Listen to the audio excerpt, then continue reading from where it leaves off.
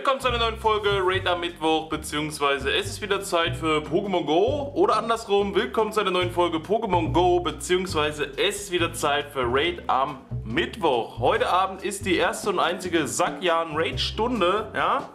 Station, Sakyan, Sekian, wie sprecht ihr das aus? Schreibt es mir in die Kommentare.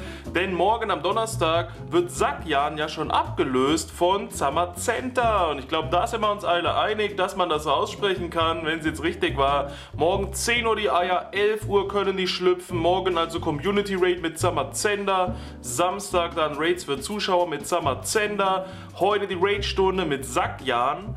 Und ich war mir die ganze Zeit nicht einig, soll ich Speed Raids machen, Lobby für Lobby für Lobby und euch annehmen, ohne zu fangen? Oder soll ich fangen für die XL? Jetzt habe ich eine Entscheidung und warum, das seht ihr am Ende. Jetzt haben wir aber erstmal die Highlights der Woche für euch zusammengefasst und am Ende gibt es natürlich auch wieder den Schocker der Woche. Angefangen hat die Woche hier beim Bobserop, der hat sich noch ein hundertprozentiges Garaborn gegönnt. Ihr seht, ich habe ja dann ab Mittwoch dann wieder die neuen Sachen aufgenommen. Ist also von letzter Woche bis diese Woche Mittwoch brandaktuell. Habt ihr auch ein 100er Scaraborn bekommen? Freut ihr euch schon auf die Mega-Entwicklung? Wenn das in die Raids kommt, könnt ihr ja dann trotzdem nochmal Scaraborn Raids machen.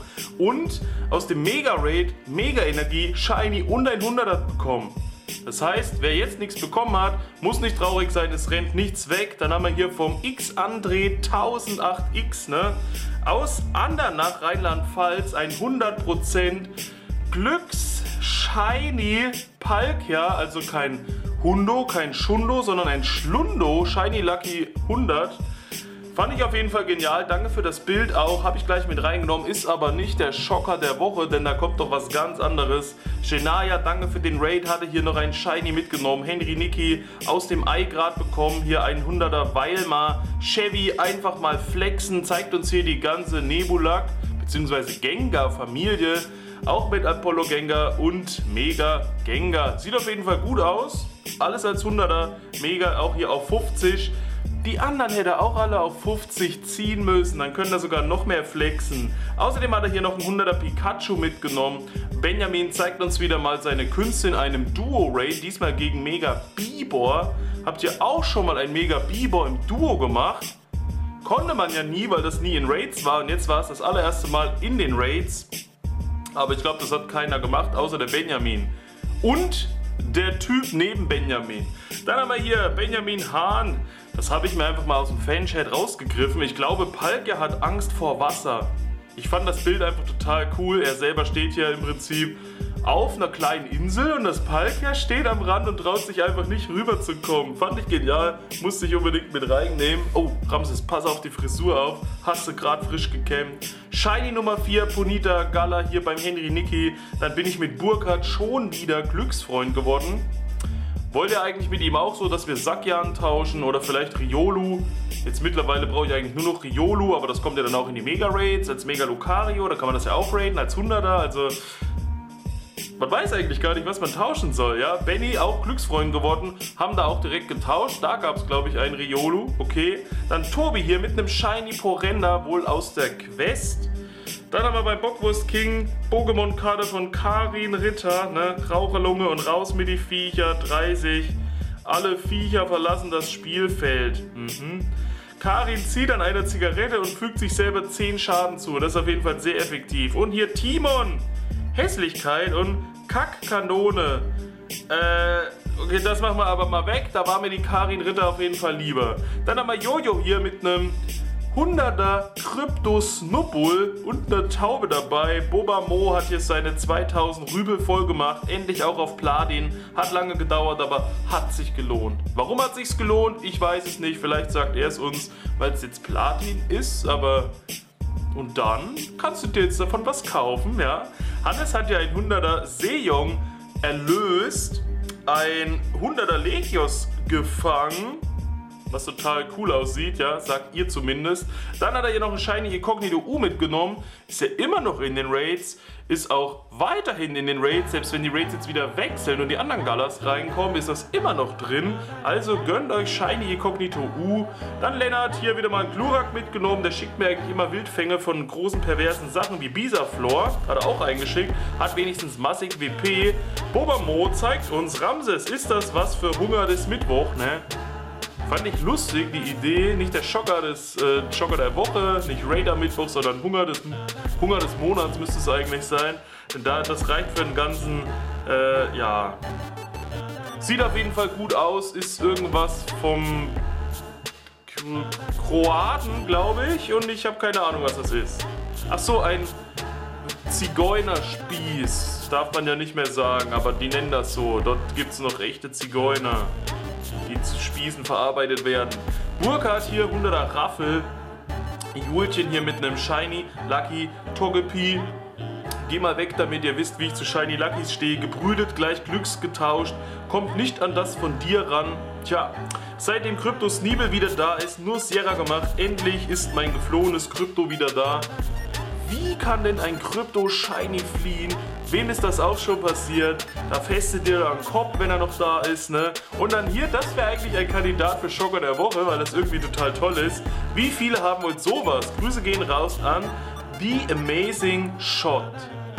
Ein 100% Glücks Baumpel, aber als Shiny mit Partyhut, was man ja nicht entwickeln kann und das braucht man unbedingt als hundertprozentiges und durchs Tauschen. Also irgendwie hat das ja schon was. Dann Natursekt, moin Ramses, einmal was für Reda Mittwoch, liebe Grüße, dein Natursekt. Ne? Haben wir hier auch 100% Legios Selal, hat uns wieder 50 Bilder geschickt. Ich habe mal das Interessanteste rausgesucht. Neben Pokémon Schwert und Pokémon Shield gibt es dann noch Pokémon Gun, ja, mit einer Waffe, sieht doch genial aus. Dann Ulnona hier und Akani wollen auch legendär sein, deswegen ein Schwert und ein Schild. Guckt uns an, wir wollen auch, also finde ich genial, weil es Gen 1 ist. Gefällt mir sogar besser als die Designs von Sakyan und Samazenda. Wie faul bist du? Ich das fand ich auch richtig genial. Hat nichts mit Pokémon zu tun, aber mit Faulheit. Man packt noch nicht mal den Türstopper aus, man legt den einfach mit der Verpackung hin. Fand ich auch krass. Das wieder mit Pokémon, guckt euch an. Ash steht da. Okay, drei Fremde, hm, drei andere Fremde, wieder drei andere. Ich habe erst mal 10 Minuten gedauert, bis ich gecheckt habe, um was es da geht. Und dann am Ende, oh mein Gott, Team Rocket! Und dreh total durch, weil du erkennst die halt nicht. Die sind immer so gut getan, egal wie oft die sich verkleidet haben, wie oft die was anderes anhatten. Es war halt der Mann, es war die Frau, es war die Katz. Hast du nicht erkannt. Aber wenn sie mal ihre Team Rocket Sachen anhaben, dann weißt du genau, oh mein Gott, Team Rocket, das, egal was da alles steht, vor allem zwischendurch haben die auch einfach gar nichts an und sind total dämlich, dieses Bild eigentlich. Aber erst am Ende dann, oh, oh, das ist Team Rocket. Oh mein Gott, das ist halt, es ist halt eine Kinderserie. Hier, du siehst aus, als könntest du es gebrauchen. Finde ich gut hier. Sehr schön gemacht, danke. Äh, ist das äh, Bill Murray? Wie heißt er? Ich weiß es nicht. Und täglich grüßt das Murmeltier? Naja, wisst ihr mehr genau. Hier seht ihr, wie ein Voldilament entsteht. Das hat man aber, glaube ich, auch schon mal irgendwo in irgendeiner Sendung drin. Selal noch mit dem Shiny Visor. Shiny Volbeat. Wie ich mich jeden Tag entscheiden muss, ob ich lieber fit oder glücklich bin. Vielleicht lieber glücklich. Seid ihr lieber fit oder glücklich? Wenn ich die Katze wäre, ich wüsste, was ich bin. Für die Mama? Nein. Für den Papa? Nein. Für Chuck Norris! Und dann oh, wird die ganze Hand, der ganze Arm einfach. Er schickt mir oft Chuck Norris Bilder, der Selal. Das musste ich mit reinnehmen, weil da war Chuck Norris selber nicht mit drauf. Dann hat er auch hier einen Shiny Porenda bekommen und ein Glurak, diesmal auch mit krassen WP. Kann man ja mal mitnehmen. Papunga darf natürlich auch nicht fehlen, das Maskottchen von der Tunga Gang. Schluck weg. Habt ihr schon mal ein wildes Schluck weg gefangen? Schreibt's mal rein. Shenaya hier noch mit einem Shiny Knofenser. 100% Gala Smogmog aus den Raids für Zuschauern. Danke für den Stream. Shenaya mit einem Shiny Unratütox muss man ja natürlich eine. Warum nimmst du da keine goldene Beere? Hä? Und dann flieht es wieder und dann wieder sagen, es ist geflohen, wenn es geflohen ist. Goldene Beere, gelber Ball, perfekt, alles muss mit. Läuft Dennis Weigel hier auch 100er Zickzacks mitgenommen. Shiny Porenda mitgenommen und ein zweites Shiny Porenda hinterher. 932, 688. Ich glaube, das hat Wetterboost, das nicht. Familie auf jeden Fall voll. Dann hat er noch ein Nuller Krypto Schneebedeck bekommen. Ihr wisst immer noch, selbst ein Nuller Krypto ist wohl besser als ein hundertprozentiges normales. Deshalb gleich auf Level 50 ziehen und dann nicht die Mega-Entwicklung machen, weil das ja nicht geht bei Kryptos. Genau. Nimmt man mal mit. Dennis Weigel, auch hier Shiny Onyx Jewel aus Kerkira, Griechenland. Die sind nämlich gerade unterwegs mit der AIDA. Griechenland, fahren rüber nach Italien, kreuzen kurz an Spanien dran und fahren dann wieder Griechenland. Und wer ist auch auf der AIDA? Der ist wo. Und deswegen kann er auch momentan keine Geschenke machen. Sagt er, während die Jewel sogar Shinies fängt unterwegs auf der AIDA in Griechenland, weil die mit der AIDA direkt auf das Land drauf fahren durch die Restaurants durch. Beim Vorbeifahren muss man sich schnell einen Schnitzel an der Theke greifen und hier dann der Beweis in der Nähe von Lecce Puglia, Italien. Ja, wer jetzt sagt Spoofer, der kennt nicht die Fotos, wie sie in der Hängematte liegt. Ne? Kannst du auch bei Facebook angucken. Auf jeden Fall ja auch Shiny mitgenommen. Weiter geht's hier. Griffel auch noch aus wieder Griechenland in der Nähe von Griechenland. Da ging, da gab es keine Stadt mehr, da war es einfach nur noch das Land an sich. Sarina, zumindest gehe ich aus diesem komischen Event nicht leer aus. Falls es nicht mit Smogmog und Porenda klappen sollte, hat sie hier, habe ich auch noch nicht erlebt, ein wildes Shiny Turtok gefangen. Habt ihr schon mal ein eine Starter-End-Entwicklung als Shiny direkt in der Wildnis gefangen. Schreibt's mal rein. Shiny Relaxo auch noch mitgenommen. 100% Krypto Macholo. Magnifik würde ich direkt auf Level 50 pushen. Und ein Krypto Shiny Samurzel gönnt man sich. Ivanovic Dominik, ne, das müsste der Drache sein. Wenn man Radarteile sammelt und erst später bewertet. Mmh ist doch gut, dass du es gemerkt hast. Stell dir mal vor, jetzt ist es verschickt, aber 100er Pfeifchen ist doch sehr cool. Pfiffchen. Außerdem danke an Thomas von Raids für Zuschauer hier 200er Porenda mitgenommen, kannst du eins hier zu Lauchzelot machen. Chevy auch, 100er Kryptogrammurks, also das ist das Neue, was gesammelt wird. Fettes Eichhörnchen, Chevy mit dem Schlaraffel. Muss ich noch entwickeln, brauche immer männlich, weiblich und das Lucky für den Pokédex. Bin ja da ein bisschen speziell. Selal, hier 100er Bisa Sam. Jay, 100er Chalellos. Jay, 100er Palimpalim. Jay, 100er Glücksraffel beim Tauschen erhalten. Charlie Evans, vielleicht für Raider Mittwoch 100er Leufeo und noch ein Wetterboost Shiny Palkia mitgenommen. Alex Hoffi mit seinem 100er Sackjan im ersten Raid. Schocker der Woche, guckt euch das an. Wie viele Raids habt ihr davon gemacht? Schreibt's mal rein. Biala auch 100er Forenda mitgenommen, glaube ich, auch aus der Forschung. Ich, Julian Eisenstein hat es geschafft, mit einem Bild in Raid am Mittwoch anzukommen. Und zwar ja, das ein Walross mit Pesto. Ist ja beliebt in jedem Stream, Walross mit Pesto. Ich weiß immer noch nicht, ob in seinem Kopf auch nur Pesto rumhängt oder da noch was anderes ist, außer Pesto. Ich find's genial, guckt euch das an. Eins auf den Kopf, eins in den Zahn und eins daneben, plus noch extra Löffel. Grüße gehen raus und ja. Gregor zeigt uns hier ein Shiggy, was Rucksack spielt beim Stolunior, während sein ich weiß nicht, was sie da machen. Wir machen das am besten einfach weg. Heiko, hier, Duisburg, ja, nicht Duisburg, Duisburg, hat ein 100er Togepi, wohl gebrütet, 100er Raffel, äh, hm, gefangen. 100er Gala Smogmog back to back mit einem Shiny Smogmog. Habt ihr auch ein Gala Shiny Smogmog bekommen? Schreibt's mal rein. Pascal Baum hat ja ein schönes Selfie von sich geschickt, wie er endlich seine auf die dicken drei Bierdose bekommen hat. Ich wusste schon immer, dass er ein Hund ist. Guckt euch das an.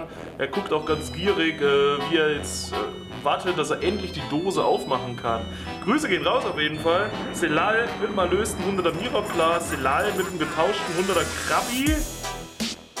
Elke, 100er Schlaraffel. 100er Legios, Shiny, Alola, Dicta, das wird überkomplizierter. Ein Beanie setzt man sich doch eigentlich auf den Kopf, wird aber anders geschrieben, deswegen ist es hier nur ein Schwallbeanie. Shiny auch bei der Elke noch dabei. Und dann, was ich sonst eigentlich nicht mache, normal, wem das aufgefallen ist, ich packe eigentlich sonst nie Bilder von mir hier rein. Ich überlasse euch den Vortritt, zeige euch, denn was ich mache, das seht ihr in meinen Videos oder in den Streams.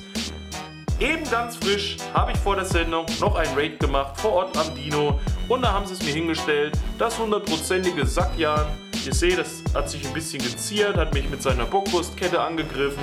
Dann habe ich es gefangen in Römhild, 25.08. brandaktuell und es war mein 16. Raid. Deswegen habe ich gesagt, hat sich für mich jetzt auch schon äh, erledigt, was ich heute Abend mache.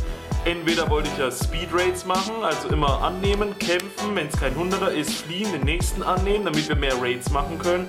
Jetzt wo das 100er da ist, würde ich aber doch vielleicht heute Abend in Ruhe fangen und dann erst auf den nächsten Raid. Es wäre sonst komplett Verschwendung für die XL, wenn du die alle stehen lässt, aber das irgendwann dann auf 50 ziehen willst. Auf 40 könnte ich Sets direkt schon machen, hab über 1000 Bonbons noch rumliegen, Sonderbonbons.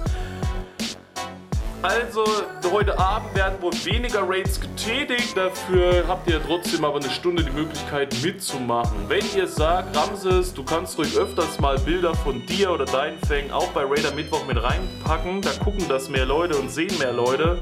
Weil ein 8-Stunden-Stream, wo dann am Ende ein 100er gefangen wird, sieht gar keiner. Schreibt es mal rein, eure Meinung dazu. Heute war eh wenig los, nicht so viele Bilder, deswegen habe ich mir die Freiheit herausgenommen, das da reinzupacken. Jetzt aber noch der Schocker der Woche. Und der Schocker der Woche kommt diesmal von, guckt euch an, wie blass ich bin, das ist der Schocker der Woche. Der Schocker der Woche kommt diesmal von Crank. Wie beim Film mit Jason Statham. Lasst es einfach mal auf euch wirken. Ihr seht hier, spiele das aktuell. Einfach nebenbei hat er, oh jetzt habe ich aber eine rote Nase. Einfach äh, nebenbei hat er das so reingeschickt, was er gerade in der Meisterliga spielt. Ihr seht ein Kyogre, ihr seht ein äh, Groudon, ihr seht ein äh, Mewtwo, aber das ist ein Shiny Kyogre, ein Shiny Groudon, ein Shiny Mewtwo. Manche haben noch nicht mal die Pokémon, manche haben nicht mal die Shinies davon.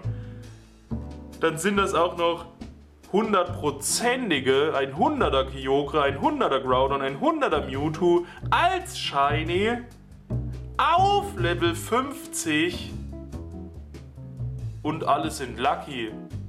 Das heißt, wie viel Mehl muss man haben, bei einem Lucky Trade ein 100er Glücks-Shiny Kyogre zu bekommen. Das gleiche bei Groudon und bei Mewtwo, die alle als Glücks-Shinies in 100% zu haben und auf Level 50 zu pushen.